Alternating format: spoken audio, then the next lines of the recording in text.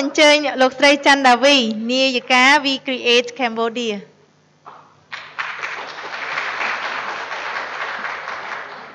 ចាសូមក្រាបថ្វាយបង្គំព្រះថេរានុថេរៈគ្រប់ព្រះអង្គសូមគោរពអាដាមលោកជំទាវលោកអុកញ៉ាលោកលោកស្រីអ្នកនាងកញ្ញាព្រមទាំងបងប្អូនបងប្អូននិស្សិតទាំងអស់ដែលមានវត្តមាននៅក្នុងថ្ងៃនេះចានាងខ្ញុំ មានវត្តមាននៅក្នុងថ្ងៃនេះគឺមិនមែនចាដូចខាងវិក្កមិនមុនមុនគាត់បានមានប្រសាសន៍អញ្ចឹងគឺមិនមែនជាការប្រកួតចាខ្ញុំសូមនិយាយខ្លួនឯងថាគឺជាការចែករំលែកចាដោយសារតែទម្លាប់របស់នាងខ្ញុំគឺនាងខ្ញុំមិនចូលចិត្តការប្រកួតប៉ុន្តែចូលចិត្តការចែករំលែកមួយដើម្បីទៀមទានៅមតិនៅផ្លូវកណ្ដាលមួយយើងជួយទាំងអស់គ្នាចាថ្ងៃនេះ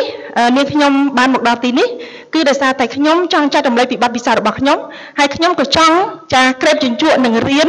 យកនៅបទពិសោធន៍របស់អ្នកទាំងអស់គ្នានៅទីនេះចាដើម្បីកែតម្រូវនៅការសម្រេចចិត្តនិងភាពដឹកនាំរបស់នាងខ្ញុំដែលនាងខ្ញុំបានធ្វើកន្លងមកចាសូមជម្រាបថានៅក្នុងថាប់នៅក្នុងថ្ងៃនេះគឺដែលខ្ញុំលើកយកមកនិយាយពាក់ព័ន្ធនឹងភាពដឹកនាំដែលនាងខ្ញុំបានឆ្លងកាត់ក្នុងរយៈពេល20ឆ្នាំកន្លងមកចាក្នុងនោះដែរ ខ្ញុំសូមលើកយកតែចំណុចសំខាន់មួយ ដែលខ្ញុំបានឆ្លងកាត់ចាដោយសារតែនៅក្នុងទ្រឹស្ដីដែលជាភាពដឹកនាំរបស់ចាស់ក្នុងដើម្បីខ្លាយទៅជាអ្នកដឹកនាំដ៏ល្អគឺវាមានច្រើនមែនតើនៅក្នុងមេរៀនក៏ដូចជានៅក្នុងទ្រឹស្ដីទូទៅប៉ុន្តែចំពោះការអនុវត្តគឺយើងមានខុសប្លែកប្លែកគ្នាទៅតាមចាទៅតាមបុគ្គលម្នាក់ម្នាក់រៀងរៀងខ្លួនដែលគាត់បានឆ្លងកាត់នៅចានៅភាពជាក់ស្ដែង ចាសម្រាប់នាងខ្ញុំនាងខ្ញុំសូមឲ្យទ្រឹស្ដីចាការដឹកនាំល្អនេះគឺផ្អែកទៅលើភាពដឹកនាំជាម្ដាយចាក្នុងន័យនេះហេតុអីបានជាខ្ញុំចង់និយាយថាភាពដឹកនាំជាម្ដាយចាដោយសារតែនាងខ្ញុំចង់ឲ្យអឺភាពដឹកនាំដែលយើងបានធ្វើការដឹកនាំទៅលើបុគ្គលិកក្រុមហ៊ុនសំទោសទៅលើអ្នកដែលនៅក្រោមបង្គាប់យើងហ្នឹងតែយើងត្រូវតែចេះស្រឡាញ់គាត់ចាយើងទុកឱកាសឲ្យគាត់យើងផ្ដល់នៅអឺ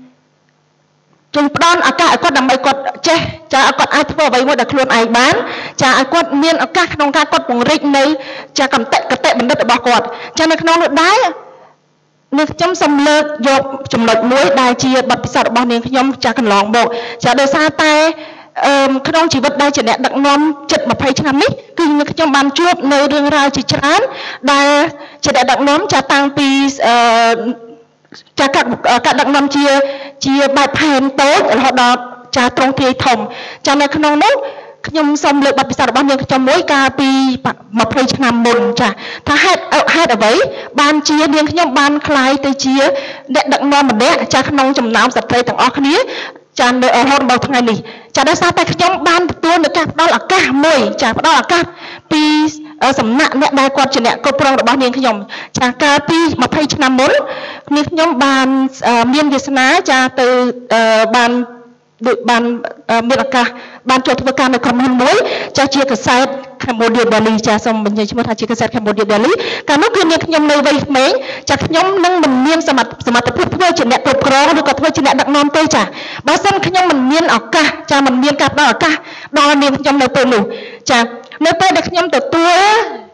បានតួនាទីមួយចាត់ជាមនុស្សធម្មតាជា receptionist នៅក្នុងក្រុមហ៊ុនមួយចានៅក្នុងកាសែតមួយដែលជាកាសែតអន្តរជាតិចាអឺ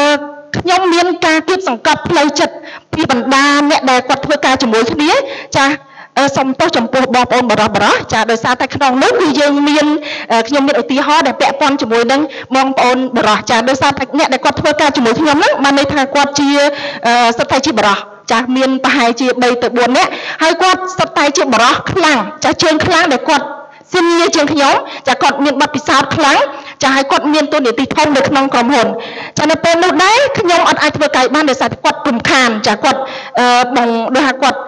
បំបាក់ស្មារតីរបស់ខ្ញុំឲ្យខ្ញុំតស៊ូបានទៀតទេចាអញ្ចឹងខ្ញុំសូមរីសាញចាខ្ញុំសូមរីសាញភ្លាមតែម្ដងនៅពេលដែលខ្ញុំចូលធ្វើការបានមួយអាទិត្យចាអញ្ចឹងខ្ញុំ បានផ្ញើអ៊ីមែលទៅដល់ publisher របស់កាសែត Cambodia Daily ខ្ញុំថាខ្ញុំសូម resign ដោយសារតែខ្ញុំមិនអាចអឺខ្ញុំនឹងមិនអាចធ្វើការជាមួយកន្លែងនេះឯងដែលជា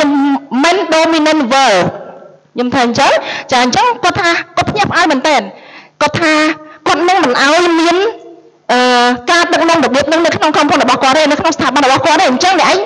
មិនអាច design បានទេខ្ញុំសុំឲ្យអ្នកឯងបន្តការងារទៀតចាប៉ុន្តែខ្ញុំសូមមានសំណួរមួយថាតើអ្នកឯងអាច មានលទ្ធភាពនឹងគ្រប់គ្រងបរិបទបរិបទទាំងអស់នឹងបានទេខ្ញុំនៅកាលនោះខ្ញុំវ័យក្មេងមែនតើអាយុប្រហែលជា20ឆ្នាំជាងគឺជាការងារទី2ប៉ុន្តែខ្ញុំអត់ដែលបានទទួលការងារមួយដែលគ្រប់គ្រងធំអញ្ចឹងខ្ញុំថាខ្ញុំខ្ញុំហ៊ានចាខ្ញុំហ៊ានធ្វើគាត់ក៏បានដំឡើងតំណែងខ្ញុំគឺជាប្រធានផ្នែកមួយដ៏ធំពីព្រោះនៅក្នុងកសែតយើងមានតែពីរផ្នែកចាមានខាង editor editorial department និងខាង commercial ចាខ្ញុំទទួលតំណែងមួយដែលខ្ញុំមិននឹកស្មានថាខ្ញុំអាចធ្វើបានហើយខ្ញុំមិនកោហ៊ានបន្ថយ ប៉ុន្តែអឺទំនួលរបស់ខ្ញុំខ្ញុំត្រូវតែហ៊ានបន្ថយចាបងប្អូនមាននឹកស្មានដល់ថាតើពេលនោះខ្ញុំដឹកនាំអ្នកដែលគាត់ធ្លាប់កាច់បំបាក់ខ្ញុំរបៀបម៉េចចាខ្ញុំប្រើភាពដឹកនាំជាម្ដាយដែលក្នុងនៃក្នុងនាមខ្ញុំវ័យក្មេងមែនតើចាប់គាត់អាយុច្រើនជាងខ្ញុំប៉ុន្តែខ្ញុំប្រើភាពអ្នកដឹកនាំដែលជាអ្នកដែលជាភាពដឹកនាំដែលទន់ភ្លន់ថាខ្ញុំដឹងចិត្តគាត់ខ្ញុំស្វែងយល់អំពីចិត្តគាត់ខ្ញុំ ធ្វើយ៉ាងម៉េចឲ្យឲ្យការដែលយើងខ្លាយដែលយើងជាពីមុនមកគាត់ចាត់ទុកថាខ្ញុំជាសត្រូវរបស់គាត់ក្រោយមកគាត់ខ្លាយទៅជាយើងខ្លាយទៅជាមិត្តភក្តិយើងខ្លាយទៅជាសាច់ញាតិចាបន្តមកទៀតគឺអ្នកទាំងអស់គ្នាដែលនៅក្រោមបង្គាប់ខ្ញុំដែលជាបរិបបរហ្នឹងគឺគាត់ផ្ដល់ការ respect ដល់ខ្ញុំជាខ្លាំងចានេះគឺជាចំណុចមួយដែលខ្ញុំលើកឡើងថាខ្ញុំនឹងផ្ដល់ភាពដឹកនាំជាម្ដាយចាកន្លងមកទៀតអឺចាដោយសារតែចំណុចនេះហើយដែលធ្វើដែលកន្លងមកធ្វើឲ្យខ្ញុំអាចមានឱកាស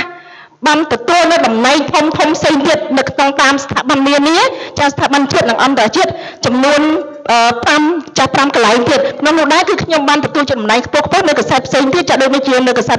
ភ្នំពេញប៉ុស្តិ៍ដែលខ្ញុំមានតួនាទីជានាយិកាកសែតចាខ្ញុំបានគ្រប់គ្រងបុគ្គលិកដល់ទៅជិត200នាក់ចាបន្ទាប់មកក្រោយមកនេះគឺខ្ញុំបានទទួលតំណែងធំនៅក្នុងកសែតខ្មែរថែមហើយចុងក្រោយនេះទៀតគឺខ្ញុំបានទទួលតំណែងជានាយិកាកសែតសំទោសនាយិកានៅមជ្ឈមណ្ឌលវិក្រាកម្ពុជាចាដើម្បីជួយសហគ្រិនស្ត្រីខ្មែរយើងចាថាតើគ្រប់គ្រាន់ទេចាវាមិនគ្រប់គ្រាន់ទេដោយសារតែខ្ញុំចាស់ចង់ចែករំលែកបទពិសោធន៍របស់នាងខ្ញុំចាស់ជូនដល់បងប្អូនស្ត្រីផ្សេងទៀតថាសូមកុំឲ្យគាត់ខ្លាចចាឲ្យគាត់ក្រោកឈរឡើងដើម្បីចាដើម្បីលើកតម្កើងនៅតម្លៃខ្លួនឯងចាដើម្បីឲ្យមានភាពរឹងមាំចាធ្វើមិនជួយគ្រួសារយើងឲ្យបានហើយយើងត្រូវតែរក្សាតម្លៃរបស់យើងចាសូមអរគុណចាសូមអរគុណលោកស្រីច័ន្ទដាវីដើម្បីមោទនភាព